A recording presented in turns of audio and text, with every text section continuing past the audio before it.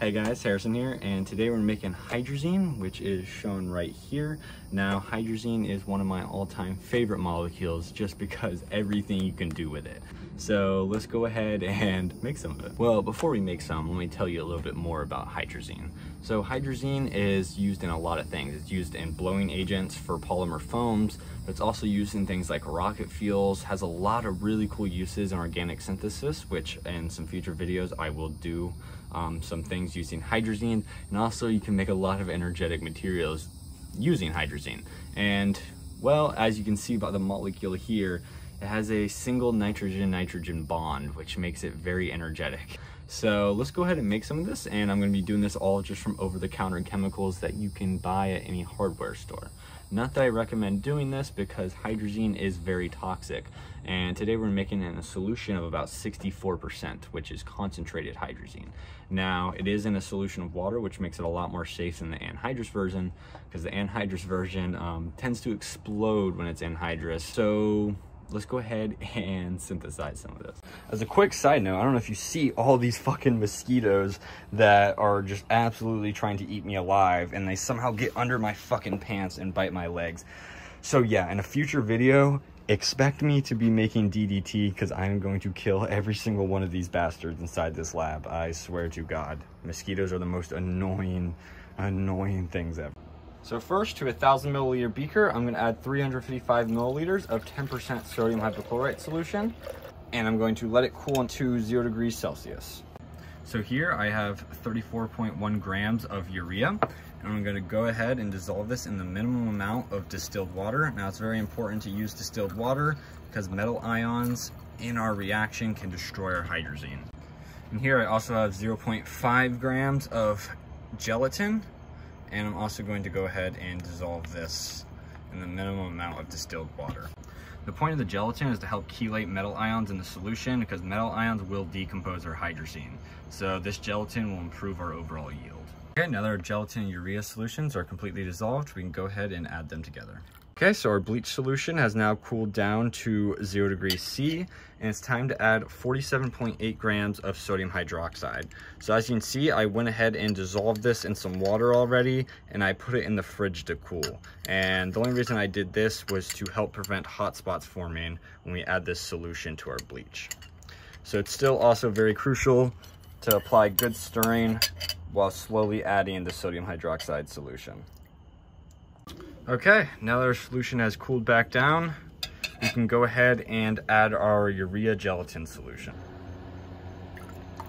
Okay, so now we have hydrazine forming in our solution, and as you can see, this step is accompanied by a lot of foam.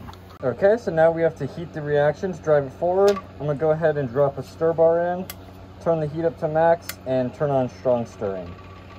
Now when the solution goes clear, we will have our final hydrazine product. Uh, I forgot to mention, it's also best to cover your beaker so you don't have your hydrazine escape.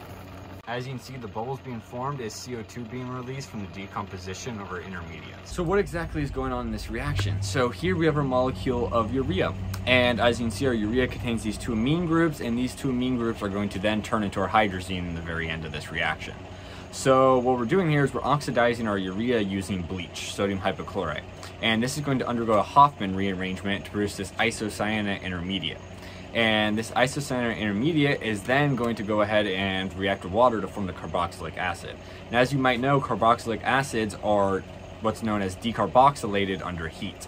And that is when we remove a CO2 molecule from our carboxylic acid. So in this case, when we remove CO2 from our molecule, we are then left with hydrazine. And the CO2 will go ahead in solution and react with the sodium hydroxide to form sodium carbonate. And um, from our bleach before, because some of the mechanisms inside the Hofmann rearrangement, that will form sodium chloride.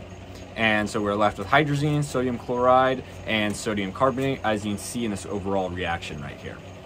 Now you can see our solution has pretty much gone clear. Now it's time to turn our hydrazine into hydrazine sulfate. Now the reason for this is, is because distilling the hydrazine directly from the mixture has a lot of issues. Because there's a lot of salt in there, it tends to thump and it doesn't really work too good. So first we gotta turn it into hydrazine sulfate and crash it from the solution. Before we turn into hydrazine sulfate, as you remember, we produced a lot of sodium carbonate. So we first have to neutralize the sodium carbonate using 122 milliliters of HCl. HCl is also at 31% concentration.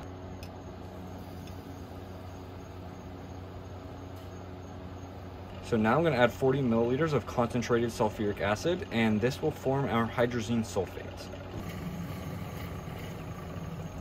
Okay, as you can see, we have fully neutralized the solution and that white precipitate you're starting to see is our hydrazine sulfate, which is perfect. Since our hydrazine sulfate solubility drops quite rapidly with decreasing temperature, we're gonna go ahead and place this in the fridge. Well, if it fits, oh, okay. Well, I'm gonna have to end up taking that thermometer out. But yeah, so we're gonna let this sit in the fridge until it reaches zero C to drop our hydrazine sulfate out of solution.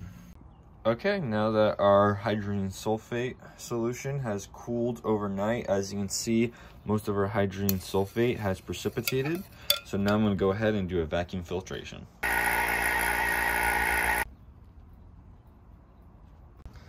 Okay, so our final yield after drying comes out to 48.3 grams.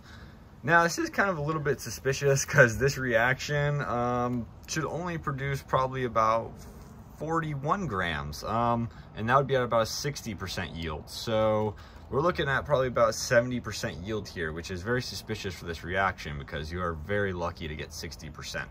Uh, that would be about the max. So either one, we're just really good, or two, there is maybe some extra water weight, and that's all I could think that would be about in here. A little bit suspicious there. I don't know where the extra weight's coming from. Again, might just because we're that good at chemistry.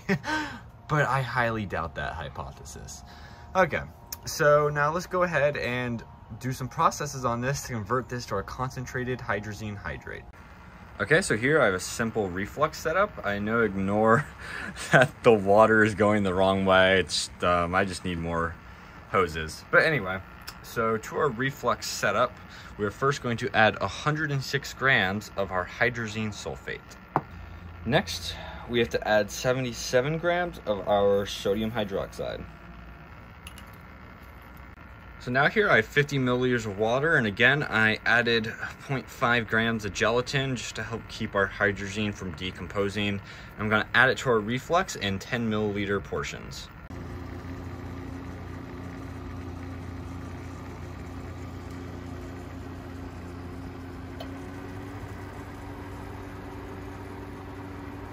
Okay, now that this has been refluxing for a couple hours, it's time to set this up for a simple distillation.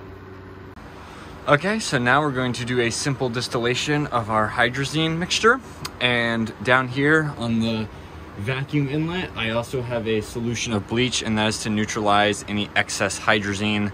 So I'm gonna go ahead and distill this and I'll come back to you guys when that's done. Okay, so our first distillation is done and here's our hydrazine solution. And as you can see, it's a very oily-like liquid and from my calculations, this should be around 35 to 40% hydrazine by weight. But in our next step, we're gonna concentrate this up to about 65%. So we're gonna double the concentration of it. Now to concentrate this even further, I'm going to perform another distillation but instead I'm going to add 175 milliliters of xylene to it. And this will help dehydrate our hydrazine solution that we have now. So we'll co-distill with the xylene. I will now replace our first flask with our new one. Okay, so we are now going to distill this mixture. I'm first going to distill over 250 milliliters of water slash xylene, and then when we distill the rest of our hydrazine, it should be extremely concentrated.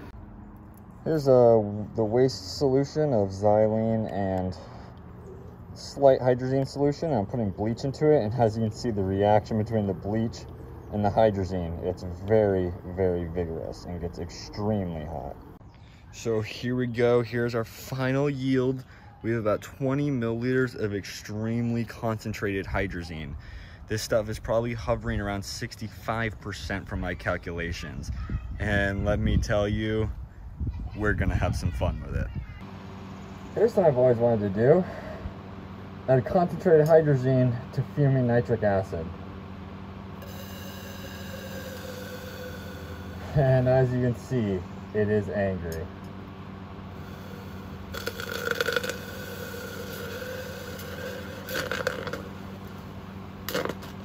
Oh, yeah, it is angry, all right.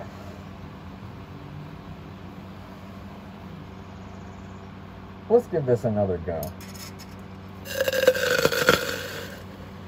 And as you can see, that reaction is very exothermic. Holy crap, this thing I can't even touch with my gloves. So as you can see, that's why this mixture is used as rocket fuel. Hope you guys enjoyed. That wraps it up for today's video. Thank God it's over just because how hot and humid it is out here. And it's been a two day project and wearing all the protective gear um, is not fun out in the Florida heat and humidity. So thank God that part's over. But it was really fun making the concentrated hydrazine. So yeah, hope you guys enjoyed and I'll see you guys next time with some videos of using our hydrazine that we made to create some really cool compounds. So bye.